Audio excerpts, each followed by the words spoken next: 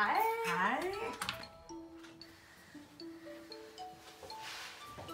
Hvad for en overraskelse vil du vælge?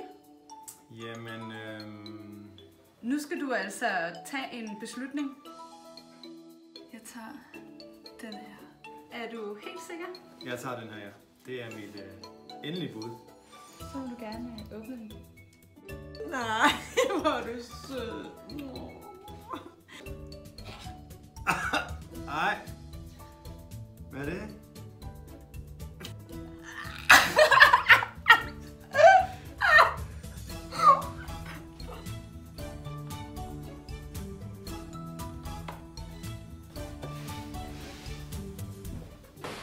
Could you?